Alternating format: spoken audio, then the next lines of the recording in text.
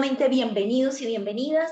Es un gusto desde EUDE, es un gusto desde el Ministerio estar acompañándolas y acompañándonos en esta sesión, en este taller precisamente de soluciones de talento 4.0 en la empresa moderna. Y hay que comenzar a cambiar las preguntas para obtener respuestas diferentes y cuál es ese quehacer y cómo nos enfrentamos precisamente a un entorno buca, un entorno que nos lleva a grandes desafíos y a grandes retos. Y es por eso que estamos reunidos en el día de hoy. Bueno, les recordamos que este taller tiene dos sesiones. Hoy estaremos en nuestra primera sesión precisamente de una a dos de la tarde y el próximo jueves, este jueves, que usted no se puede perder la segunda sesión, estaremos el 27 de enero en la segunda sesión. Durante y a finalización de la sesión les vamos a colocar el link para que usted nuevamente se inscriba. Y quiero darle la bienvenida en estos momentos precisamente a la doctora Silvia Ugalde, que nos va a acompañar con unas, nos va a acompañar con unas palabras precisamente de bienvenida. La doctora Silvia Ugalde es la jefe de oficina de becas de la Dirección de Cooperación Internacional del Ministerio de Relaciones Exteriores, culto de Costa Rica. Doctora Silvia, bienvenida. Muchísimas gracias, muchísimas gracias a mi tocaya Silvia por la presentación. Como ella lo mencionó, eh, soy la jefa de la oficina de becas del Ministerio de Relaciones Exteriores y Culto en Costa Rica. Em, es un placer darles a todos este, un cordial saludo esta tarde y las gracias por estar participando y acompañándonos hoy. Espero que sea un evento que sea muy provechoso y bueno, también recordarles que es importante que se matriculen para la segunda parte del taller porque ya eh, nuestro expositor nos comentó un poquito de la temática que va a tocar el, el jueves y está interesantísimo. Así que más tarde va a aparecer ahí el link en el chat para que se puedan volver a inscribir. Eh, quiero agradecer a EUDE Business School por la iniciativa de organizar este taller con una temática que es sumamente relevante para estas épocas de, eh, que vivimos hoy en día y obviamente para todas las áreas de la economía, eh, bueno, en este caso nacional porque estamos con un público costarricense, pero en realidad es un tema este, de importancia global, por supuesto. Así que le agradezco mucho también a nuestro expositor de hoy, el señor Javier Peláez, por regalarnos su tiempo y su conocimiento. Y bueno, sin más, para no perdernos valiosos minutos de esta información que vamos a recibir, devuelvo el uso de la palabra y muchas gracias. Doctora Silvia, muchas gracias por sus palabras y por hacer parte de esta gran iniciativa. Y hoy nos acompaña también con unas breves palabras nuestro director de Relaciones Internacionales, doctor Álvaro Dantar. Bienvenido. Muchísimas gracias, Silvia. Eh, muchísimas gracias por esta presentación. Desde la Escuela Europea de Dirección y Empresa queremos agradecer al Ministerio de Relaciones Exteriores y Culto de Costa Rica su confianza, la confianza depositada en nuestra casa para la organización de este tipo de actividades que consideramos que son de alto impacto en la sociedad costarricense. También quisieras agradecer en concreto bueno, pues a Silvia Ugalde, la jefe de la oficina de becas, que es quien nos facilita estos espacios que, esperamos poder aprovechar de la mejor forma posible. Y también, como ya también ha mencionado Silvia, agradecer a Javier Peláez, nuestro docente experto en la materia, por su, por su tiempo y por su predisposición a colaborar con este tipo de actividades. Hoy en día, como ya pueden ver, pues eh, vamos a hablar de un tema tan apasionante como las soluciones de talento 4.0 en la empresa moderna, un tema, una temática que nuestro docente eh, domina eh, a la perfección. Así que bueno, no quiero alargarme más. muchísimas gracias a todos por vuestra asistencia. Os recordamos que os tenéis que escribir para la segunda sesión del jueves. Y nada, muchísimas gracias Javier, Silvia, Silvia, un placer. Gracias, doctor Álvaro. Es un gusto también que nos acompañe en esta tarde. Bueno, muy bien. Y queremos darles la apertura y la bienvenida muy calurosa a nuestro experto. Nuestro experto que nos acompaña en el día de hoy es el doctor Javier Peláez Guerrero. Él tiene más de 19 años de experiencia en todo el tema de dirección estratégica empresarial, en todo el tema de implantación de empresas nacionales e internacionales. Es escritor del Manual de Supervivencia, un libro precisamente sobre mercado de trabajo y orientación laboral. es docente, es MBA y conferenciante internacional. Y por supuesto hace parte de nuestro equipo de staff de los consultores VIP, porque lo van a ver ahorita en acción, lleno de herramientas, lleno de historias, de conversaciones y de lo que es real, experiencias reales que nos convocan. Actualmente es líder en Manpower Group de estrategias del cliente y dirigida y, y relacionamiento. Muy bien, doctor Javier, es un gusto estar en este día de hoy y más con usted en estas dos sesiones. Hoy hablando muy en la primera sesión de empresa digital y en la segunda sesión, que recuerde, es el próximo jueves 27, del empleo y el networking. Doctor Javier, bienvenido. Muchas gracias Silvia, muchas gracias Silvia Ogalde eh, por esta acogida y como no a, la que ya es mi casa hace, hace mucho tiempo como es eh, Business School que, proporciona, eh, patrocina y, me proporciona este escaparate para seguir hablando de mi pasión que es la gestión de personas en una era, en la 4.0 y en un entorno, el buca, eh, y en esta maldita pandemia que parece que no nos deja nunca, que ha cambiado definitivamente las reglas de juego y es de lo que vamos a intentar hablar, cómo están superviviendo eh, las empresas de toda condición a nivel mundial y cuáles son las tendencias en materia de gestión y desarrollo de personas y reclutamiento 4.0 y cómo lo están haciendo las, las, organizaciones para intentar atraer y retener talento, ¿no? que es un poco lo que nos ocupa. Como bien decía eh, mi querida Silvia, eh, vamos a abordar en dos sesiones bien diferenciadas en dos ámbitos muy distintos, ¿no? complementarios pero diferentes. Primero vamos a hablar de liderazgo digital y de empresa moderna, ¿no? y esto es importante tenerlo en cuenta porque hay que poner en antecedentes, eh, bueno, pues en dónde estamos, de dónde veníamos, qué es esto del liderazgo digital, cuáles son las herramientas que estamos utilizando en la empresa moderna eh, bueno, pues para, aclimatarnos a las nuevas herramientas que nos, promociona esta, nueva era. Y después en la segunda, en la segunda parte, que quizás sea la, que ustedes esperan con más, con más interés, eh, allá a la misma hora del próximo jueves, pues hablaremos ya definitivamente de, de reclutamiento 4.0, de las nuevas tendencias que las organizaciones están aplicando y diseñando y ejecutando para eh, reclutar talento allí donde se encuentre.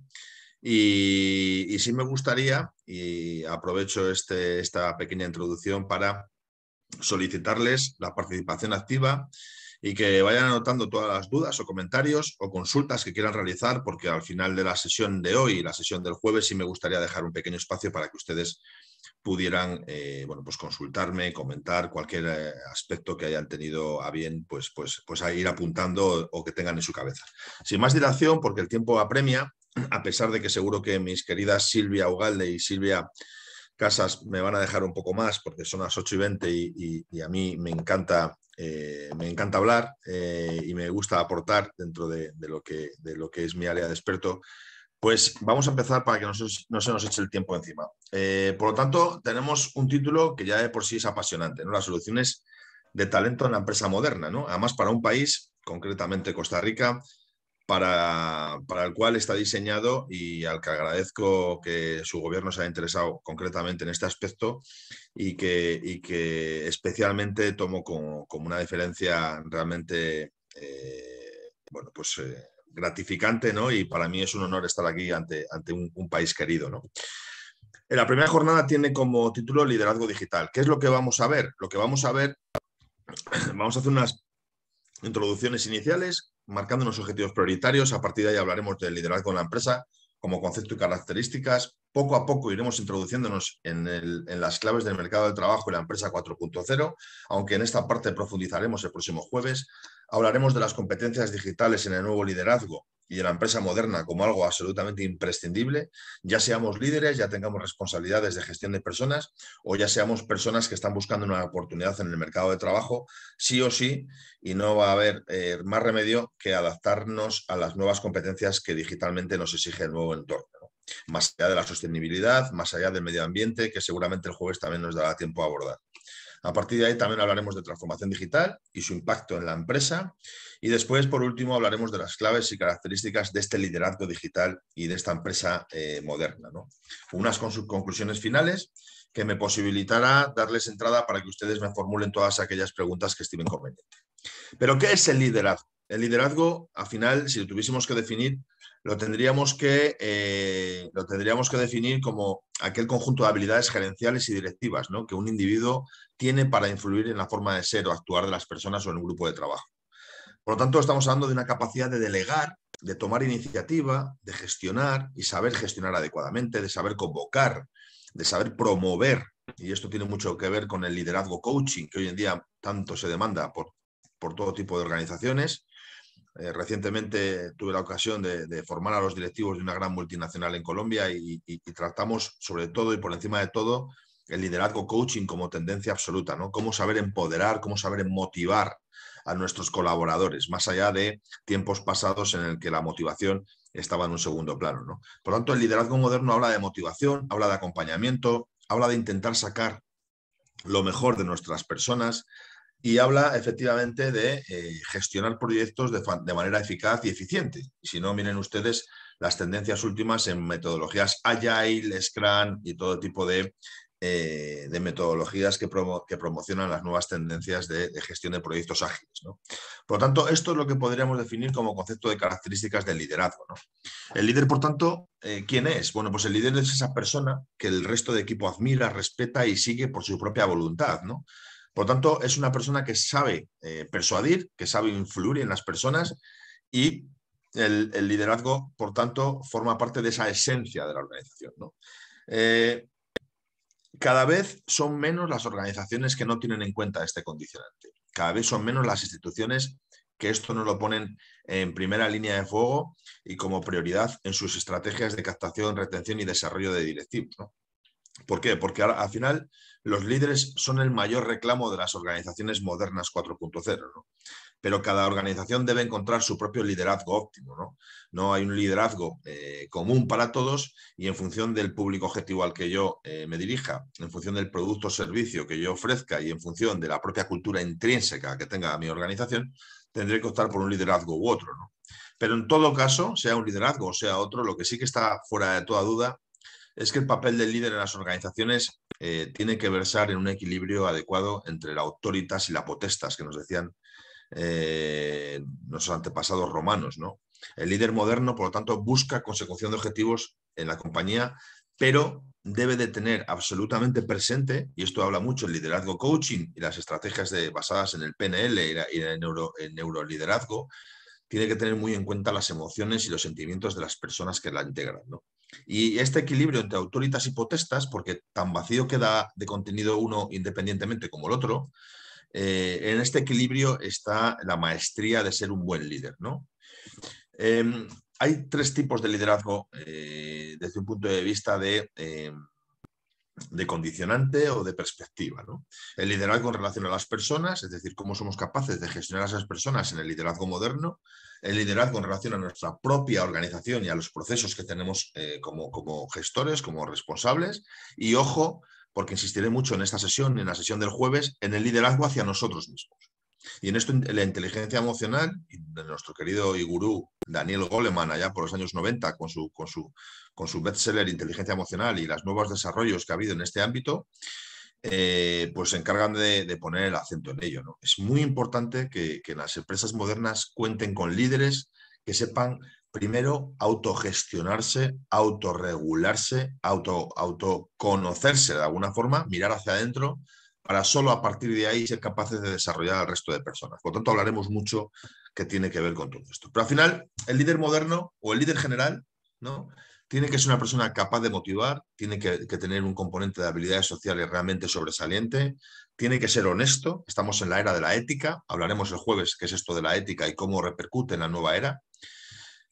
Tiene que tener una capacidad de resolución de problemas eh, rapidísimamente y de una forma analítica, tiene que ser creativo, tiene que tener una capacidad de delegar asombrosa y evidentemente tiene también que eh, cumplir órdenes, ¿no? Y tiene que cumplir normas, no puede ir por libre, tiene que ser, por tanto, disciplinado, con un objetivo y un propósito, porque los líderes tienen que tener un propósito por el cual el resto de personas le siguen, Y esto nos lleva a, ir un paso más allá, ¿no? Estamos en el año 2022, acabamos de empezar, empezar un año que ojalá, por el bien de toda la humanidad, sea el último año de esta maldita pesadilla llamada COVID, y estamos adentrándonos en un año 2022 que el liderazgo digital se va a afianzar. Si no, si no, se, si no se había afianzado anteriormente, y no, si no se había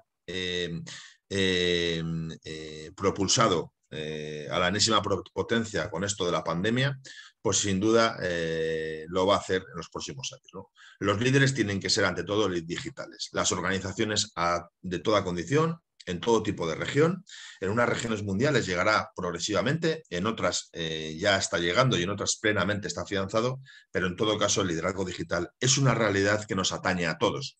¿Qué es esto del liderazgo digital?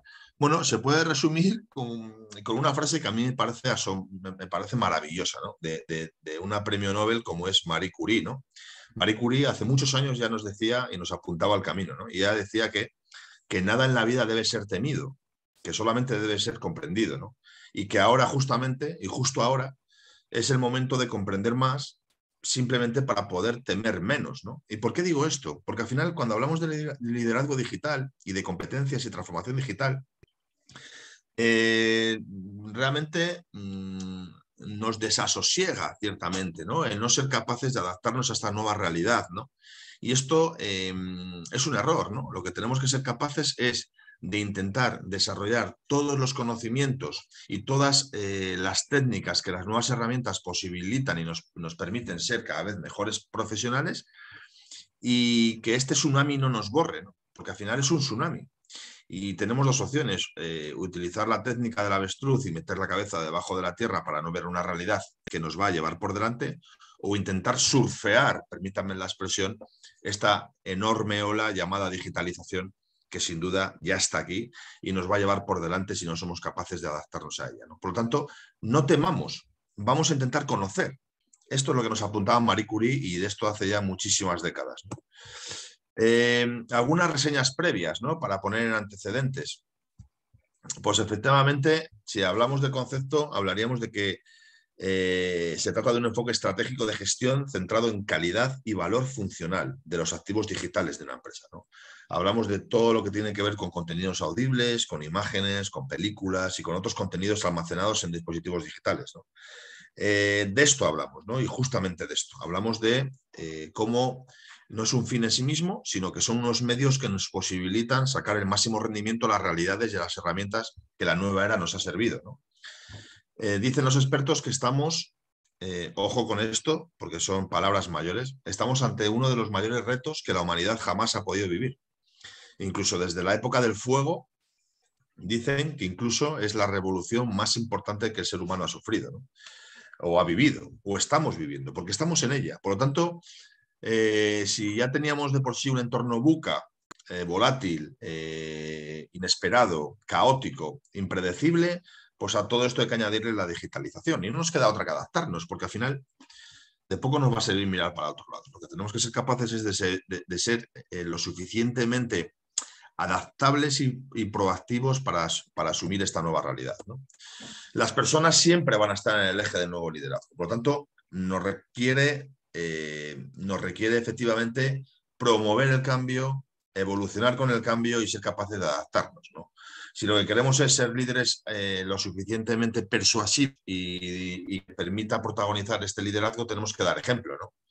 Porque ya nos lo decía Einstein, que creo que, no lo, lo conocemos todos como uno de los auténticos magos y genios de la humanidad, ¿no? Que dar ejemplo no es que sea la principal forma de influir sobre los demás, sino que él decía que era la única. Y efectivamente nosotros tenemos que estar al frente de esta nueva revolución. Tenemos que ser líderes dinámicos, ágiles, flexibles, tenemos que ser capaces de innovar, de tener actitudes de visión con V, es decir, mirar hacia arriba, hacia adelante, promover el cambio. Liderar es, eh, tiene un componente muy importante de ser capaces de promover el cambio, que el cambio no nos arrastre, sino que seamos nosotros los que vayamos como abanderados. Eh, protagonizando este cambio.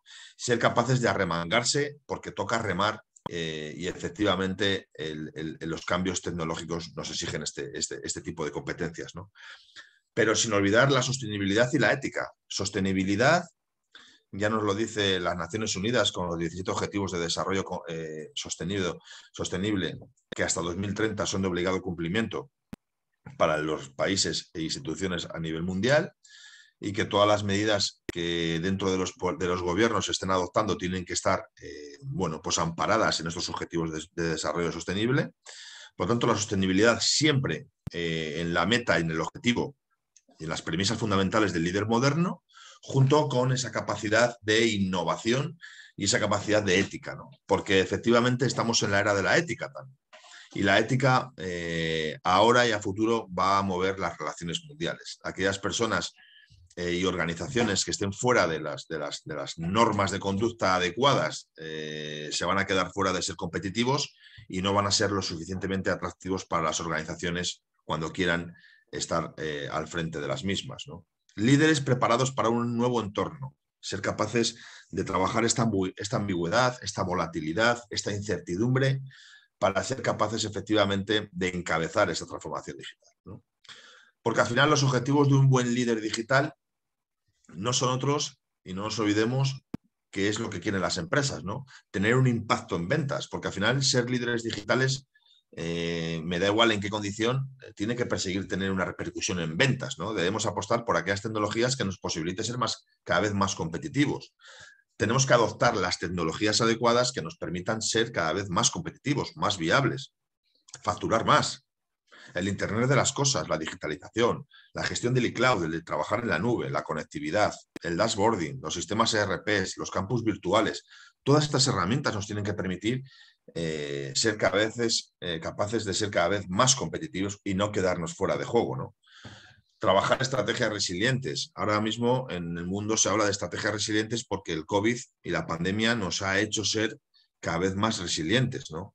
Tener una capacidad de aguante y de sacrificio brutal, ¿no? Hay gente que lo ha pasado muy mal, hay organizaciones y países concretos que están sufriendo todavía, lamentablemente, las consecuencias dramáticas de una pandemia global.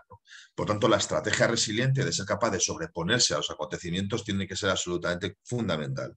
Estrategia resiliente que además tiene mucho que ver con aprender lecciones para que a futuro podamos sacar nuevas eh, bueno, pues estrategias de mejora. Y en esto estamos, ¿no? en estrategia resiliente que hoy en día está en boca y, en las principales tendencias de cualquier eh, organización mundial. Ser capaces de formarnos y capacitarnos continuamente, continuamente.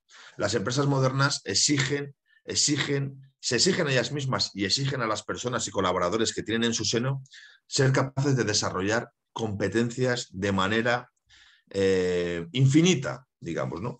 Hasta el último eh, suspiro de su vida. Es lo que llamamos el long life, ¿no? Es decir, ya no vale con hacer unas carreras universitarias, ya no vale con hacer unas maestrías, unos posgrados, sino que lo que hace falta ahora mismo es formarse y adecuarse, capacitarse con capacidades y competencias upskilling, reskilling, que nos permita refrescarnos continuamente para no quedarnos fuera de juego porque la digitalización es lo que nos va a exigir.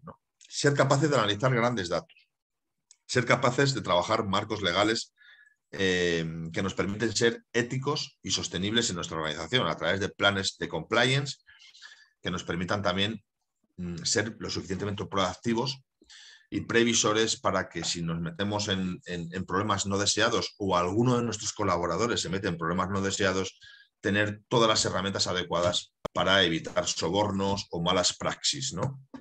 Adoptar mecanismos de inteligencia artificial y modelos predictivos. Estamos en la era de la digitalización y la inteligencia artificial, de la que hablaré a continuación, tiene mucho que ver con estas nuevas tendencias que han venido para quedarse. Pero sin olvidarse de la humanización de la marca, porque al final ahora mismo estamos viviendo eh, enrolados y, realmente entusiasmados y enfocados, yo creo que por momentos en exceso, ¿no? En el ámbito de la digitalización, pero ¿y qué pasa con la humanización de la marca? No hay que olvidar que detrás siempre va a haber personas, siempre estamos eh, eh, trabajando personas en relaciones, en trabajo en equipo, nuestros clientes son personas, nuestros proveedores son, son personas. En definitiva, el conjunto de stakeholders son personas que necesitan humanización y necesitan que nos vean como lo que somos, ¿no? como, como, como un ente que tiene principios y valores y que necesita que esa cultura corporativa esté cercana a ellos. ¿no? Por tanto, nunca olvidemos, por muy digitalizados que estemos, el humanizar nuestra propia marca. ¿no? Y esto nos lleva a apuntar las claves del mercado de trabajo en la empresa 4.0. ¿no? Ya digo que el próximo jueves ya ahondaremos en las nuevas tendencias de reclutamiento y cómo se están haciendo por parte de las corporaciones a nivel mundial esto de, atraer y retener talento ¿no? y las, políticas de employer branding. ¿no? Pero hoy en día, si apuntamos claves del mercado de trabajo en la empresa 4.0, tendremos que hablar de la era de la digitalización y de las competencias digitales. Las competencias digitales que efectivamente si, definiría, si, definiésemos competencias hablaríamos de esa condición humana, ese conjunto de habilidades eh, y de conocimientos que nos permiten desarrollar adecuadamente un puesto de trabajo. ¿no?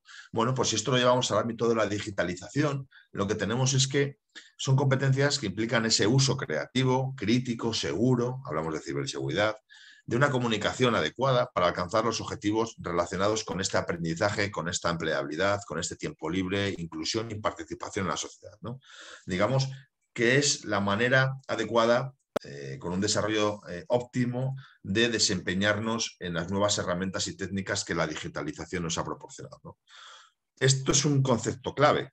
Eh, ya sé que lo estamos oyendo por activa y por pasiva cuando ponemos nuestro televisor, cuando ponemos nuestra radio a nivel local, regional, mundial, las competencias digitales y la digitalización. Pero es que, lamentablemente, queridos amigos, es un hecho, y queridas amigas, es un hecho realmente irrefutable. La digitalización ha venido para quedarse y todos tenemos absolutamente la obligación, no la recomendación, sino la obligación de digitalizarnos de alguna manera. No es posible que estemos trabajando hoy en día sin conocer lo que son las herramientas eh, de trabajo en remoto. No es posible que no sepamos qué es esto de, de trabajar en la nube. No es posible que no sepamos mandar un correo ni digitalizar un documento. No es posible que no sepamos mandar un mail masivo ni trabajar con herramientas eh, eh, que nos permitan bueno, pues una gestión adecuada de clientes online. Ese tipo de cosas y muchísimas otras más hace que las competencias digitales sean un reclamo absolutamente imprescindible. ¿Y cuáles son las tendencias absolutas? Por un lado tenemos la inteligencia artificial, que es eh, esa maravillosa herramienta eh, que hoy en día forma parte de todos nosotros, más allá incluso de lo que somos conscientes y que vemos, porque la inteligencia artificial ya hace tiempo que la está utilizando redes sociales como LinkedIn, como Facebook, hablaremos mucho de LinkedIn el próximo jueves, como herramienta que tenemos todos que conocer, como Facebook y como todo tipo de redes sociales que han crecido al amparo de inteligencia artificial, pero al amparo de inteligencia artificial también están creciendo muchísimas herramientas del ámbito de la sanidad, para realizar eh, operaciones o para mejorar los tratamientos. Por tanto, la inteligencia artificial, en el ámbito, no les cuento nada de la formación, por lo tanto, en, el ámbito de la inteligencia artificial encontramos todo tipo de sectores y todo tipo de empresas, ¿no? De ámbito de fábricas, de industrias, en la empresa moderna 4.0, eh, está ya instalada esta inteligencia artificial. ¿En qué se diferencia la inteligencia artificial de la robótica convencional eh, efectivamente en que la inteligencia artificial puede aprender de sus errores y se convierte en, autónoma. Esto lo hace pues una revolución en sí misma. Y ojo porque esto no es pacífico. Eh, ha habido expertos y, grandes eh, gurús de la humanidad como Steve Hawkins que ya, nos, ya nos, nos, dedicó una palabra, unas palabras que, que, bueno, que realmente producen realmente bueno, un desasosiego, si quieren, ¿no? Él decía que iba a ser el fin de la humanidad gracias a herramientas como la inteligencia artificial, que los puestos de trabajo iban a verse en peligro, que iba a haber muchísimas amortizaciones de puestos de trabajo irrelevantes, cosa que yo también estoy absolutamente de acuerdo. Es decir, puestos de trabajo que son automatizados, que consisten en mover el brazo y hacer así para mover una cadena de montaje, pues evidentemente en algún momento van a ser sustituidos por máquinas inteligentes que aprenden de los propios errores y permiten también eh, amortizar costes eh, y optimizar procesos. Por lo tanto, más allá de ser, eh, bueno, pues ver un, futuro negro, lo que sí que es cierto es que la inteligencia artificial va a crear puestos de trabajo que ni hoy en día somos capaces de imaginar, pero por otro lado también va a haber una destrucción masiva de puestos de trabajo. Ya se está viendo, ¿no? Se está viendo en sectores financieros, en sectores que, de fábrica, de industria, eh, de automoción, cómo efectivamente eh, hay puestos que están siendo relegados por máquinas, pero porque efectivamente las máquinas eh, lo que permiten es introducir una innovación para que las organizaciones inviertan en creatividad y seguir progresando a futuro. Por lo tanto, yo les invito a todos ustedes que se planteen qué tipo de trabajo quieren en su vida o qué tipo de trabajo están desempeñando. Y, si, la respuesta es que es un trabajo eh, muy monótono y fácilmente sustituible, pues que tengan en cuenta que tienen que estar alerta, porque la inteligencia artificial va cada vez a asumir cada vez más roles y más espacios en el mercado de trabajo. Es una realidad que se está viendo, pero se va, va a ir en aumento sin duda alguna. Por otro lado, y en paralelo está la Big Data. La Big Data como, como esa gran eh, estrategia de discernir o herramienta que nos permite discernir los datos que son realmente relevantes para las organizaciones de los que no lo son. hoy en, eh, hoy en día, ingenieros de Big Data, desarrolladores de software de Big Data, ya sea en Python o otro tipo de herramientas, eh, son absolutamente bueno, pues, eh, reclamados por todo tipo de organización, poniéndoles un talón, un talón, un cheque en blanco para que ellos decidan cuánto quieren cobrar y de qué manera. ¿Por qué? Porque hoy en día es una tendencia absoluta el que los grandes datos que por todos los sitios nos llegan, ya sea por buscadores de todos conocidos, ya sea por redes sociales de todos conocidos, o ya sea por medios de comunicación que nos, bombardean con datos, lo que se trata es de discernir lo que realmente aporta valor para nosotros de lo que no lo aporta. Y la Big Data nos permite efectivamente trabajar en esto. En el mercado de trabajo, todas las herramientas y todos los perfiles que tengan que ver con esto, pues van a tener un, sitio privilegiado. Ya lo están teniendo, ¿no? Eh, se hablaba que los profesionales en Norteamérica de Big Data están por encima de los 100.000 euros, de los 100.000 dólares. en Europa, poquito a poquito está llegando a equiparar salarios desde un punto de vista de las necesidades versus eh, lo que pueden aportar. Pero, pero, sin duda todas las profesiones que tengan que ver con Big Data están absolutamente eh, bueno, pues, de, actualidad. Y en paralelo, si estamos hablando de digitalización, no nos queda otra que hablar de ciberseguridad, ¿no? Y es que la ciberseguridad hoy en día y en el empleo también está, está marcando nuestros días, ¿no? Lo mismo que decíamos anteriormente, son profesiones de futuro. Aquellas personas que sean eh, hackers, que no crackers, ¿eh? la diferencia saben ustedes, ¿no? El cracker es aquella persona que teniendo unos conocimientos muy elevados de cómo funcionan la, vulnerable, la vulnerabilidad de los sistemas informáticos, comete delitos para vulnerarlos por propia cuenta o a cargo de otros, ¿vale? Es un cracker. Y los hackers no tienen por qué ser necesariamente malos, ¿no? Sino que los hackers son personas que eh, tienen unos conocimientos muy elevados y de, los sistemas informáticos y disfrutan con ellos, que son cosas bien diferentes. ¿no? De hecho, hay hackers que trabajan para propias organizaciones e instituciones públicas y que son bien reputados. ¿no? De hecho, aquí en España, eh, uno de los CEO eh, más importantes de, las, empresas en España, que es Telefónica, pues fue un reputado hacker, ¿no? Y hoy en día forma parte del comité de dirección. Por lo tanto, cuidado con los hackers porque los hackers no tienen por qué ser malos, sino que conocen todas las vulnerabilidades de los sistemas.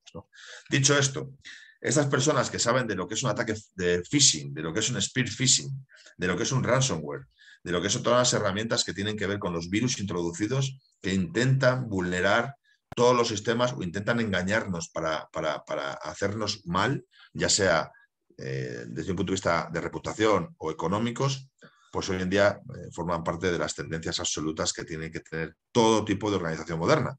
Porque si por un lado estamos digitalizando y por otro lado no tenemos en cuenta los peligros que esto corremos, pues tenemos un problema de no pequeño. Por otro lado, el marketing digital y la presencia web. El marketing digital y la presencia web como partes absolutamente imprescindibles en el ámbito en el que nos movemos. Las estrategias e-business, que son las estrategias digitales, que no nos va a dar tiempo a hablarlo en estos módulos y que les emplazo a que en el futuro podamos hablar eh, de este monotema. Eh, las estrategias e-business, como tienen que ver con las plataformas digitales, las plataformas colaborativas, los Cabify, los Amazon, los Uber, y toda que tiene que ver con eh, Airbnb y todo lo que tiene que ver con ese tipo de plataformas intermediarias o los e-commerce, pues efectivamente se rigen por políticas y por estrategias de marketing digital y de una presencia web imprescindible. No, no hay negocio que quiera eh, internacionalizarse que no tenga en cuenta herramientas como SEO, el Searching Engine Optimization, es decir, el posicionamiento de los buscadores cuando nosotros metemos un nombre, ¿no? y que es un posicionamiento orgánico, que no requiere cantidad económica, pero sí conocimientos muy altos para trabajar palabras clave, para trabajar estrategias, eh, bueno, pues eh, de muchas índoles, ¿no? Las estrategias SEM, que son estrategias, estas sí de pago, que permiten un posicionamiento a través de eh, pago por palabras clave, ¿vale? UX, que es la, User Experience, que es eh, la experiencia de usuario cuando, navega por cuando navegamos por una red social, cuando navegamos por una web, cuando navegamos por un blog, qué nos parece, cómo de intuitiva, cómo de fácil y cómo de amigable es, y cómo nos lleva a través del pipeline de ventas, a través de, esa eh, confiabilidad, esa facilidad de uso hacia la compra, ¿no? Y tenemos un ejemplo muy claro, ¿no? Ejemplos malos tenemos muchos y me van a permitir que no le ponga, Porque todos en la cabeza tenemos alguna web o alguna empresa que está todavía haciendo las cosas muy mal. Pero, por ejemplo, tenemos un claro ejemplo de gran usabilidad, ¿no? Porque detrás hay gente muy moderna que sabe mucho de esto y que efectivamente eh, ha aportado valor, como es la página de Netflix, ¿no? Ustedes se meten en Netflix y ya me dirán ustedes qué dificultad tienen. Podrán saber mucho o poco de digitalización o de páginas web, pero ustedes saben que si le dan al botón rojo tres veces, van a acabar comprando una serie y que encima le hace sugerencias con herramientas de inteligencia artificial para que le vaya sugiriendo cuál es la serie que seguramente le va a recomendar en función de su histórico.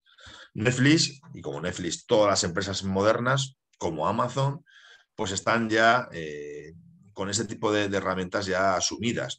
Y nosotros, si somos emprendedores digitales o estamos a frente de, organizaciones o estamos simplemente eh, como buscadores de empleo, tenemos que ser conscientes de la importancia que eso tiene para nuestras vidas. El empleo y el mercado de trabajo tiene eh, que explicarse con estas herramientas. ¿no? La analítica web, ¿por qué? Porque si estamos hablando de SEO, SEM, User Experience y todo lo que tiene que ver con el diseño gráfico, diseño web y e-commerce, pues es muy importante saber si se están haciendo las cosas bien o no, ¿no? Y para saber esto que hacemos, pues trabajar herramientas de analítica, ¿no? ¿Cuánto tiempo han estado en mi página web? ¿De qué páginas vienen rebotados? ¿Cuántas veces ha vuelto a mi página eh, la misma persona? el mismo computador, eh, eh, a través de mapas de calor, dónde y en qué parte de mi web están pinchando. Ese tipo de cosas son absolutamente esenciales. ¿Para qué? Pues para saber si la inversión en marketing digital que estamos realizando tiene sentido o tenemos que mejorarlas. Y por último, el e-commerce a través de tiendas virtuales, que hoy en día es el futuro, sin duda, y el presente de las nuevas transacciones eh, a nivel mundial. ¿no? Y si hablamos de modernidad y hablamos de digitalización y empresa moderna 4.0, tenemos que hablar necesariamente de las redes sociales. Las redes sociales, que aquí falta una importantísima que no he indicado, pero se la apunto como es TikTok, las redes sociales de negocios y empleos son herramientas imprescindibles para reputación, para conseguir nuevos clientes, para conseguir nuevos empleos, para que la gente sepa qué proyectos tenemos, para llegar a, colaboraciones, para aumentar nuestro networking y así hasta un larguísimo etcétera. La teoría de los seis grados, que nos acuñaron eh, allá por, el principio del siglo XX y que después se hizo ciencia en las principales escuelas de negocio, que nos venía a decir matemáticamente eh, y desde un punto de vista científico cómo a través de seis grados de contactos podemos llegar a conocer a cualquier persona del mundo, pues esa teoría desde los últimos 10, 15 años se ha caído. Y hoy en día estamos ante la teoría de los tres grados, como ya apuntaba la Universidad de, Taipei, de, Taiwán, en el que con, herramientas empíricas se ha demostrado que a través de tres grados y un poco más podemos llegar a conocer a cualquier persona del mundo. Es decir, que si nosotros tenemos un networking de calidad y sabemos trabajar ese networking, podemos llegar a conocer a cualquier persona del mundo y que nos posibilite llegar a alcanzar el nuevo proyecto deseado. Ojo con esto. Y las redes sociales trabajan con esta red, con este tipo de teorías, con las teorías de los tres grados. Fíjense ustedes LinkedIn, con grados de primer nivel, de segundo nivel, de tercer nivel, o Facebook, o Twitter, o Instagram. Trabajan absolutamente así, ¿no? Con esta red de contactos que es absolutamente imprescindible y que si me permiten el jueves profundizaré mucho más en este ámbito, ¿no? Los recursos humanos 4.0, ¿no? Cómo la transformación digital está impactando definitivamente en la gestión y en el desarrollo de las personas, ¿no? Hablaremos de gamificación en el próximo día, no se preocupen, hablaremos de cómo se están llevando a cabo los procesos de selección. Procesos de selección que lo que se hacen es cada vez hacerles más amigables. ¿Por qué? Porque nuestras nuevas generaciones, seguramente ustedes, alguno de los que está escuchando eh, con atención esta charla, eh, se encuentran en esta franja de edad, ¿no? Yo no sé si ya son generaciones Z, Millennium, Baby Boom, ya me pierdo, ¿no? creo que Z, ¿no? Pero en todo caso, las nuevas generaciones de los 20 a los 25 eh, ya no quieren cualquier cosa. Y yo me lo encuentro aquí en, mi región, ¿no? que efectivamente estamos teniendo dificultades muy serias para contratar a perfiles de talento joven. ¿Por qué? Porque no queremos lo mismo. Porque yo, eh, en mi edad, que no me considero una persona mayor, pero efectivamente han pasado una serie de décadas, pues a esta edad de 20 años quería unas cosas bien distintas que las personas que tienen ahora 20 años, ¿no? Entonces hay que darles nuevos estímulos de la mano de la transformación digital y de la digitalización para que tener una experiencia, un recorrido de candidato adecuado. La gamificación pone el acento en esto, es decir, cómo los juegos, los videojuegos sirven para primero atraer nuevos jóvenes talentos y cómo a través de la simulación de juegos y role-playing, como el Escape Room, tan famoso a nivel mundial, eh, pues nos permiten saber cuál de los candidatos es el adecuado. ¿no? Ya no les digo nada los software de gestión, el trabajo en la nube, ¿no? Cómo trabajar en la nube se ha convertido en un reclamo absolutamente, me van a perdonar, casi imprescindible, ¿no? Tenemos que saber trabajar en la nube, tenemos que saber qué es esto de Salesforce, qué son estas herramientas que tienen que ver con las nuevas, eh, las nuevas eh, modalidades que ha sacado SAP o SharePoint de Microsoft, ¿no? ese tipo de herramientas que son absolutamente imprescindibles para que no se pierda la documentación, para que no se pierda la información, para estar acordes con lo que hoy en día es una exigencia, que es la sostenibilidad y el respeto al medio ambiente, para minorar papel, para no tener que estar sacrificando árboles y estar trabajando con el ahorro, que es uno de los principios, de los 17 principios de las Naciones Unidas, era minorar e intentar eh, cada vez gastar menos hoja de, papel y, llevarlo todo a la nube para, por, de alguna forma, pues, compartir información entre organizaciones y los propios, a través de las intranets, a través de las propias organizaciones internas. Y si hablamos de nuevas herramientas para administrar o gestionar basadas en la, relación con los clientes, los famosos CRM, los Customer Relationship Management, tendríamos que hablar de Salesforce, de SalesNet, de Microsoft Dynamics, de NetSuite y así, etcétera, etcétera, etcétera, ¿no? Que son efectivamente herramientas basadas en la nube que nos permiten, muchas de ellas, que nos permiten tener una gestión de relación con los clientes. Y todos de alguna manera tenemos que estar acostumbrados a manejar ese tipo de lenguajes, este tipo de herramientas, ¿no?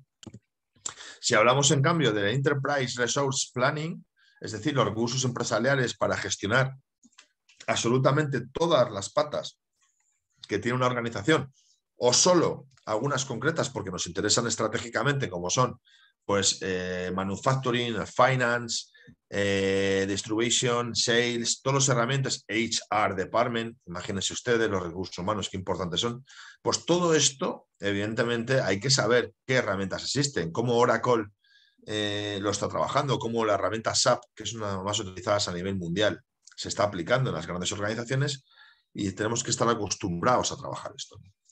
Y esto nos lleva a trabajar también con herramientas de realidad virtual y realidad aumentada, que digamos que son la misma cosa con distintos matices. ¿no? La realidad virtual en la que nos permiten tener eh, unas experiencias absolutamente inimaginables hace apenas 15 años. ¿no?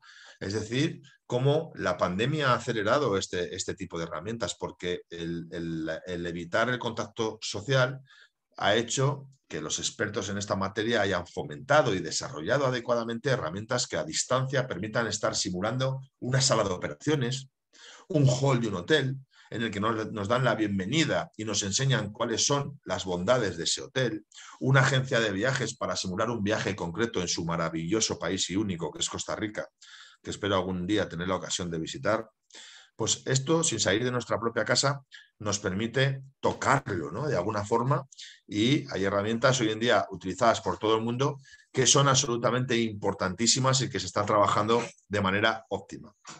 La realidad aumentada es lo mismo, ¿no? de una forma eh, parecida, con matices, pero en todo caso es, es, lo, que está, lo que está viniendo con mucha fuerza.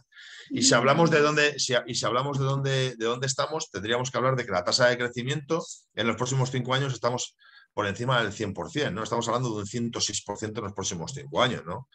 El ritmo exponencial que se prevé en la, en la creación de realidad virtual y realidad aumentada a, nivel de los negocios es absolutamente imprescindible, ¿no? Accor Hotels, ya decíamos anteriormente, está trabajando hace años con estas herramientas para recrear los espacios de su hotel.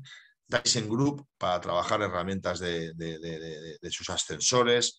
Para que los, los, operarios no arriesguen su físico y simulen las instalaciones y las mejoras en sus propios ascensores, de New York Times para ver las noticias, de Greenpeace o la NASA para recrear las estaciones espaciales, por ejemplo. ¿no? Por lo tanto, aquí tienen, por ejemplo, eh, unos datos eh, abrumadores en dónde se está poniendo el acento y en qué sectores concretamente para, para este tipo de herramientas. ¿no? Si hablamos de Machine Learning y la inteligencia artificial aplicada a los recursos humanos, pues tendríamos que hablar de Facebook, de LinkedIn, de Tesla, de Amazon, que están utilizando esto para trabajar automatización de procesos, análisis de datos, apoyo a equipos humanos, ahorro de tiempos, reducción de costes, centrados en la innovación o aprendizaje de errores. ¿no?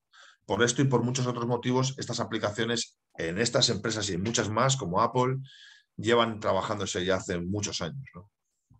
Y esto nos lleva a las nuevas tendencias en la empresa moderna, que es la consolidación del teletrabajo. ¿no? La consolidación del teletrabajo, que en España concretamente, y les hablo del caso concreto que conozco, ha llevado a que el gobierno ha sacado una ley concreta para regular qué sucede con las personas que están trabajando desde casa. ¿Qué derechos tienen? ¿Qué prevención de riesgos? ¿Quién tiene que asumir los costes de Internet?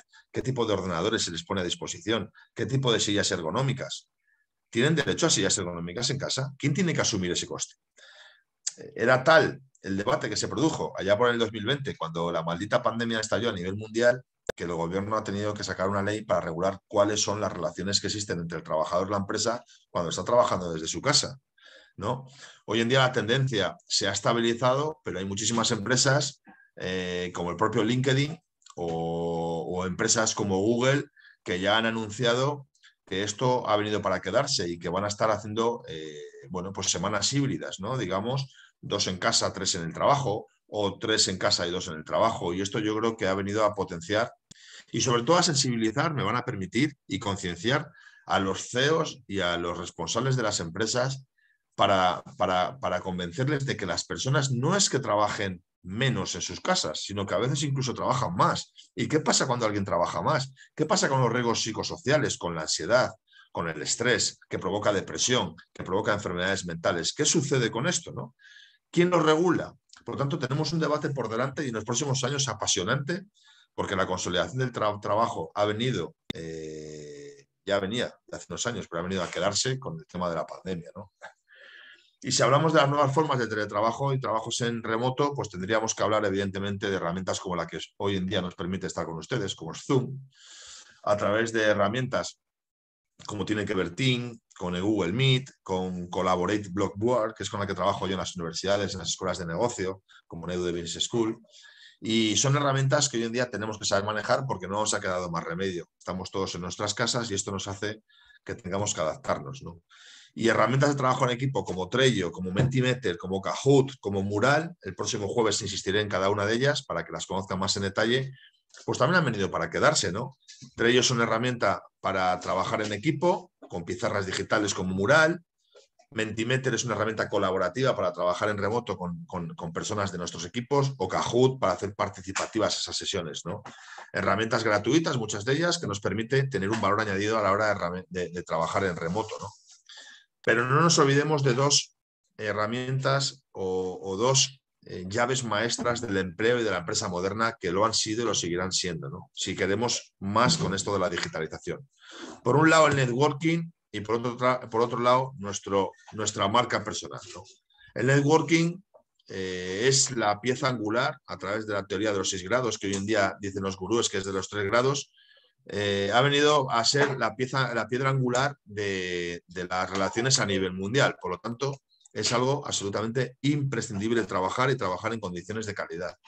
Pero claro, seamos empresa o seamos persona, primero tenemos que tener una marca personal adecuada, tenemos que trabajar la reputación, tenemos que ser capaces de mm, eh, utilizar herramientas como LinkedIn, que el próximo jueves me dedicaré eh, eh, extensamente a ello, en el que salgamos absolutamente pues bien, bien, bien posicionados ahí dentro, ¿no? con una reputación adecuada, con unas técnicas adecuadas de, posicionamiento, colgando posts que, aporten valor, trabajando bien nuestra, nuestra apuesta en común. ¿no? Evidentemente es una, es una importancia brutal la que tiene networking, pero primero tenemos que tener una reputación adecuada. De LinkedIn hablaremos el próximo día, pero es que los datos hablan por sí mismos. ¿no?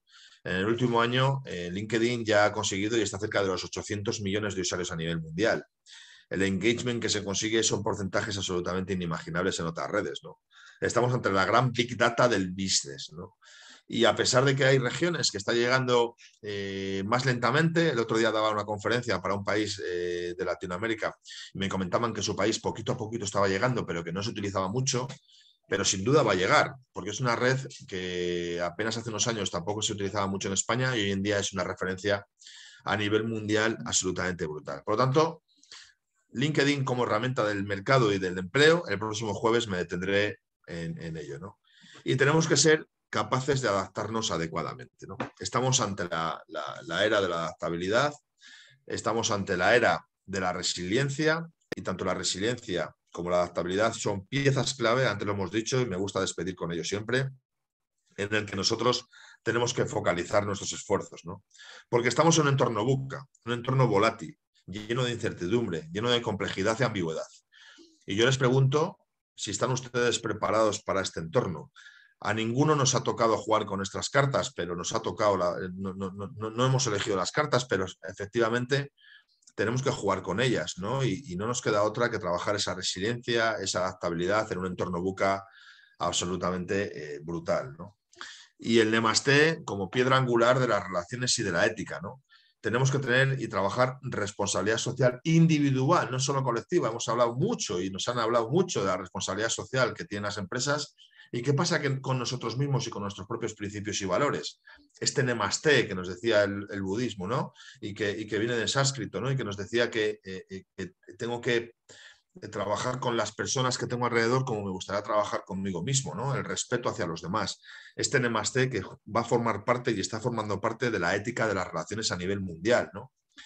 Porque la importancia de la ética tiene mucho que ver con esa transparencia, con esa buena fe, con esa justicia, con esa integridad respeto, con ese cuidado, con esa protección de datos, ¿no? Para trabajar e impulsar nuestro employer branding, para mantener limpias nuestras perspectivas desde un punto de vista de las normativas y cumplimiento legal, para garantizar la confiabilidad hacia el exterior. La ética empresarial y la ética personal van de la mano y tienen que estar entrelazadas, pero siempre trabajando con la persona en el eje del negocio. Detrás de organizaciones hay personas y las personas formamos parte más importante, somos el recurso más importante de todo tipo de organizaciones.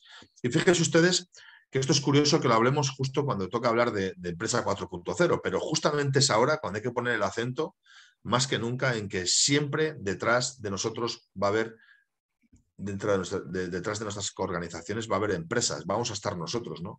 Que somos los que hacemos viables y competitivas a las compañías. Por lo tanto, las habilidades sociales de los líderes tienen que ser absolutamente trabajadas. Nosotros como candidatos tenemos que trabajar eh, estas capacidades y habilidades de la empatía, de la, del trabajo por objetivos, de ser capaces de trabajar la creatividad, de ser capaces de trabajar la comunicación, de ser capaces de, ser, de presentar en público, de ser capaces de tener escucha activa, una serie de soft skills, de habilidades sociales, que ya nos decía la inteligencia emocional eh, que eran eh, dos dimensiones las que se trabajaban, ¿no? La dimensión intrapersonal, la que tiene que ver con nosotros mismos, y las dimensiones interpersonales, ¿no? Al final, esto es la inteligencia artificial, ¿no? La inteligencia emocional. Tenía que ver con, este tipo de, eh, de, dos componentes, ¿no? Las inteligencias interpersonales, que tienen mucho que ver con la relación y comunicación con los demás, y la inteligencia intrapersonal como ese componente de conocimiento y comunicación hacia mí mismo. Y en el, equilibrio entre los dos componentes están las personas con una inteligencia emocional elevada. ¿Y esto qué nos permite?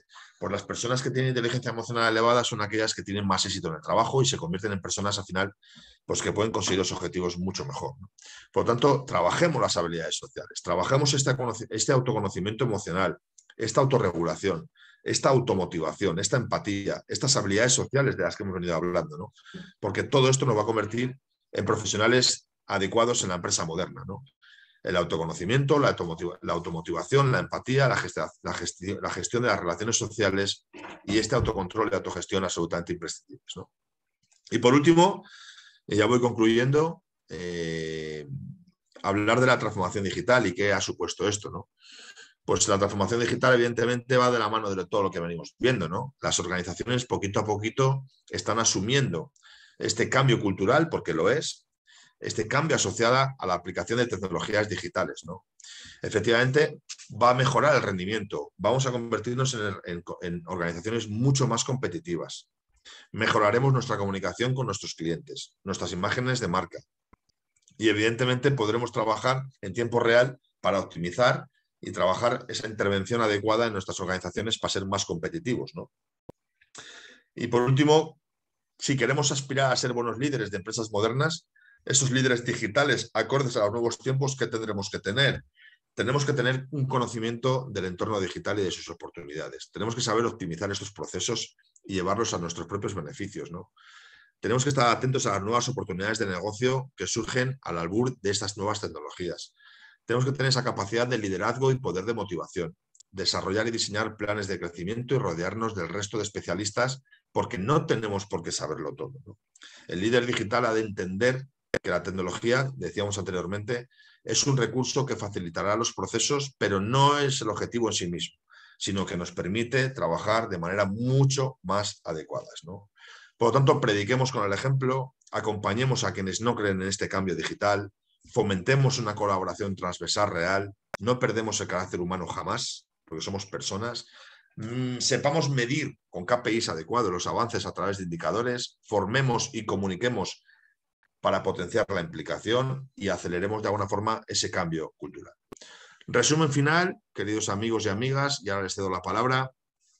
Estamos ante uno de los cambios más importantes que la humanidad ha sufrido un cambio cultural, un cambio lleno de, barreras, de enemigos, porque siempre se ha dicho, es un refrán popular, que si te quieres crear enemigos, lo mejor que puedes hacer es proponer un cambio. No nos gusta movernos de nuestra zona de confort y son malos tiempos para el inmovilismo. Estamos ante momentos clave que la humanidad igual no ha vivido en décadas o en siglos, en el que por un lado la pandemia y por otro lado la digitalización y la necesidad de subirnos al tren y a las necesidades de, la sostenibilidad y el respeto al medio ambiente hace que nosotros sí o sí tengamos que adaptarnos y desarrollar competencias y habilidades y conocimientos para estar a, la altura de, los tiempos difíciles que nos ha tocado vivir. Por mi parte nada más, les cedo la palabra, ha sido un auténtico placer y a su disposición para cualquier duda o consulta. Muchísimas gracias. Estimado Javier, mil gracias por tan excelente primera parte. Eso de verdad revisar y comenzar a visualizar esos nuevos retos, esos nuevos desafíos comienzan a situarnos precisamente y entender un poco como líder, como trabajador, ese rol que yo ejerzo en la sociedad, cómo debía, debería implementarlo y cómo ir dentro de, la, dentro de esos desafíos de una muy buena manera, acorde y el elemento fundamental que nos comentas, que es el tema de la adaptabilidad, ese tema de agilidad estratégica. Tenemos unas preguntas, tenemos tres preguntas por parte de nuestros participantes. La primera pregunta que la hace Herbert es la siguiente. ¿Cuál sería el futuro de algunas profesiones? Por ejemplo, los médicos con la inteligencia artificial. Bueno, eh, como siempre me gusta decir cuando hablo de, de ese tipo de, liderazgo y de futuros inciertos del empleo, siempre me gusta decir que yo no tengo una bola de cristal, que ojalá tuviese, ¿no? Y pudiésemos entre todos adivinar e intuir por dónde va el futuro. No, lo sé. Lo que sí, sí, sí que sé, eh, porque los expertos nos lo han dicho, es que la inteligencia artificial hoy, año 2022, es una inteligencia artificial relativa. No ha llegado a completarse del todo. Es decir, las inteligencias artificiales saben ustedes que tienen varias fases y que la inteligencia artificial de las películas ultramodernas y de las series que salen en Netflix no ha llegado. Hay quien dice que gracias a Dios que no han llegado. Eh, no lo sé si es gracias a Dios o no lo sé. El caso es que hoy por hoy no hay ninguna máquina en el mundo que pueda operar con autonomía plena. Siempre va a haber la supervisión de un ser humano, siempre va a haber un médico, un especialista. La, inteligencia artificial nos va a poder ayudar a manejar ciertos aparatos y a manejar ciertas cosas, pero, pero todavía no estamos en esto. Cuando esto suceda, ¿qué va a pasar? Bueno, eh, les voy a dar mi opinión eh, basada en, bueno, pues en fundamentos de, personas que saben muchísimo más que yo de esta materia. el ser humano siempre va a estar ahí. Se van a crear otro tipo de profesiones, profesiones que tienen que ver con la ética, que tienen que ver con las pautas eh, adecuadas de actuación eh, y de relación entre, entre, los, entre los seres humanos, entre nosotros. ¿no? Sí que es cierto que va a haber muchas profesiones que se van a tener que adaptar y seguramente que los médicos y la sanidad va a ser una de ellas. ¿no? Pero que hoy en día mm, la profesión de médico no hay que preocuparse en exceso porque hoy en día no estamos todavía ante la autonomía plena. Simplemente las herramientas, como hemos dicho antes, de, de digitalización están permitiendo aportar innovación, aportar valor. Lo estamos viendo con las nuevas vacunas, lo estamos viendo con los nuevos tratamientos, cómo están aportando valor, pero no están eh, ni mucho menos siendo una amenaza por ahora. Por ahora. Porque Silvia, si nos atenemos a lo que nos decía Stephen eh, Hawking, la verdad es que él mm, siempre lo vio muy negro, ¿eh? Claro, si lo dice un genio como él, hay que estar ojo a visor a ver qué pasa. ¿no? Veremos a ver qué nos depara. Pero lo que sí es cierto es que serán cambios muy rápidos. No van a ser 15 años después. Va a ser, igual en el 2025 tenemos noticias. Bueno, muy bien. Muchas gracias, Javier, por tu respuesta. Nos quedan dos preguntas más antes de cerrar nuestra sesión del día de hoy. ¿Cuánto estiman a nivel porcentual el mercado estará migrando para realizar las transacciones comerciales por medio de los canales digitales, de acuerdo a esta nueva realidad de marketing digital? Nos pregunta Guti Jiménez. Muy bien, eh, porcentualmente lo desconozco. Eh, lo que sí que puedo hablar es que ya son millones y millones de personas a nivel mundial, eh, los famosos digital nomad, la famosa gig economy, que es la economía de los bolos, ¿no? Ya saben ustedes que gig, gig en inglés, son aquellos bolos famosos que se daban en Nueva Orleans, eh, de los, de los eh, músicos ambulantes que iban de calle en calle tocando por microactuaciones y cobraban un dinero y se iban a otra actuación. ¿no? Pues esto es lo que hoy en día tenemos, ¿no? Esos, esos profesionales que hacen microproyectos para organizaciones, cobran un dinero y se van a otra, ¿no? Y que pueden hacerlo además desde su maravilloso país, Costa Rica, desde el maravilloso país de Silvia, desde Colombia, desde Medellín, desde San José, Costa Rica, o pueden hacerlo desde muchísimos lugares y pueden trabajar para Alemania, para Madrid, o pueden trabajar para otros, otros lugares. ¿Por qué? Porque hoy en día se puede hacer y porque ya son muchos millones. ¿Qué porcentaje es? No lo sé. Seguramente si lo meten en Google van a encontrar el porcentaje de organizaciones que, seguramente esté apuntado. Lo que sí que es cierto es que se han generado y se van a generar, a pesar de que los gobiernos ven esto como una amenaza brutal por el tema impositivo aquí en España está pasando con los youtubers y los influencers, que, están facturando tantos millones de, euros en este caso, que, la presión y de impuestos está siendo tan asfixiante que se están yendo a otros países como Andorra, que son paraísos fiscales, a trabajar para que no les asfixie los impuestos. ¿no? Pero los gobiernos quieren controlar esto, ¿no? Y, y Europa, sin ir más lejos, el otro día, Silvia, eh, y Guti han, sacado una medida para que los Google, los Facebook tengan limitaciones en algunos sentidos a la hora de operar y pasen por caja, porque al final es de lo que se trata, ¿no? De que pasen por caja y que tributen, que al final es, el kit de la cuestión, ¿no? ¿Dónde se queda todo el dinero que están generando. Hay muchísimos millones, muchísimos millones de profesionales de diseño gráfico, de diseño web, arquitectos, consultores, que ya trabajan desde su casa y no les hace falta el soporte de ninguna organización. Y va a ir a más. Bueno, qué maravilla. Y este chat se encendió. Y hay más preguntas. Vamos a evacuar otras dos preguntas y las que nos quedan pendientes, las otras dos, vamos a tomar registro fotográfico para en la, en la sesión de preguntas de nuestra segunda sesión este jueves. Recuerde inscribirse, las vamos a evacuar. Eh, Javier, ¿cuáles son los tres canales comerciales a nivel digital de mayor valor y aprecio por los clientes actuales? Lo anterior nos dice nuestro participante para generar transacciones comerciales. Vuelve y pregunta Guti Jiménez. Muy bien. Eh, desde luego que el que yo más conozco y el que más me ha servido y el que están utilizando cada vez más organizaciones es una herramienta como LinkedIn. ¿Por qué? Porque a través de herramientas como Marketing Solution o, Sales Navigator permite segmentar, eh, herramientas Insight, permite segmentar y dedicar esfuerzos adecuadamente a tu público objetivo concreto. Y que ese pipeline no se pierda por el camino ¿no? y, y dirigir esfuerzos encorsetados y bonitos para tener una base de datos adecuado y convertir esos leads en potenciales clientes a futuro. ¿no? Por lo tanto, por un lado, redes sociales, sin duda. estamos en las redes sociales. Eh, hoy en día mandar un mail, sí, mandar una campaña de mailing mm, puede penalizarnos el sistema y puede meternos automáticamente en correos no deseados y por lo tanto ser unas personas no deseadas.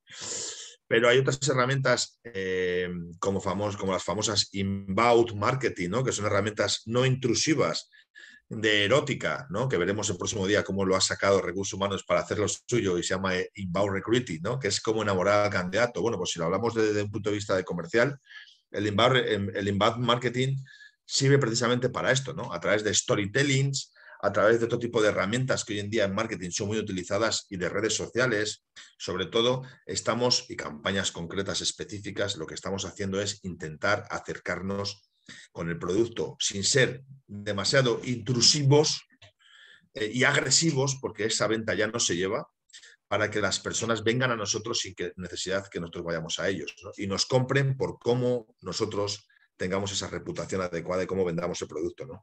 Por lo tanto, el mayor reclamo posible es las redes sociales. Hoy en día en marketing y en Instagram, que saben ustedes, en Facebook y en Instagram, que saben ustedes que es la misma compañía, que en su momento lo compró Facebook, podemos hacer negocios eh, en función del negocio que tengamos y el público objetivo, lógicamente, por una cantidad simbólica de dinero, no es mucho, ¿vale? Si tenemos una empresa de floristería, imagínense ustedes, o de reparto a domicilio, o una empresa de envíos urgentes y tenemos 15, 20 empleados, con campañas en Facebook bien dirigidas o con Instagram puede servirnos absolutamente para conseguir el objetivo.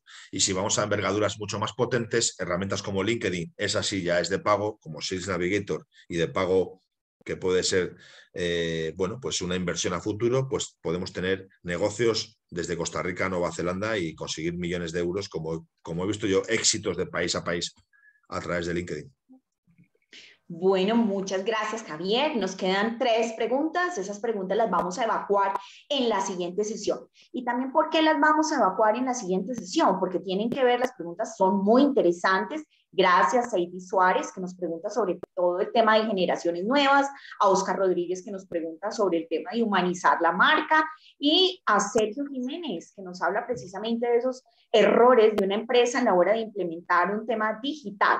Y Yernet finaliza con el tema de cómo aplicamos ese liderazgo digital con personas que no quieren utilizar la tecnología. Pero estas, estas respuestas las va a contestar nuestro experto el próximo jueves en la parte introductoria.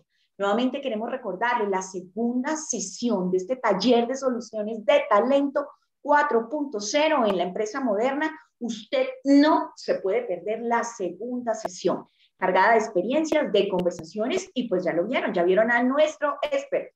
Vamos a arrancar con esas preguntas, ya tomamos registro fotográfico. A todos y todas, recuerden en el chat, les acabo de dejar el link de inscripción.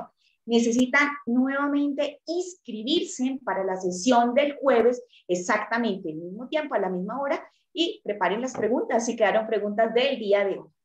Al doctor Javier Peláez, como siempre, impecable presentación. Muchas gracias. Es un honor que nos hayas podido acompañar en este taller de soluciones de Talento 4.0. A la doctora Silvia, nuevamente muchas gracias. A nuestro director, mil gracias. Por ahí veo a Silvia. Silvia, ¿quieres darnos unas palabras finales? Bueno, eh, agradecer a Javier porque fue una presentación interesantísima que nos mantuvo siempre alertas y estoy segura que así va a ser el próximo jueves, así que lo esperamos ansiosamente. Gracias. Claro que sí, ustedes no se lo pueden perder. A todos y todas, excelente tarde. Javier, mil gracias. Doctora Silvia, muchas gracias. Nos vemos el próximo jueves. Chao, chao. Un saludo a todos. Gracias.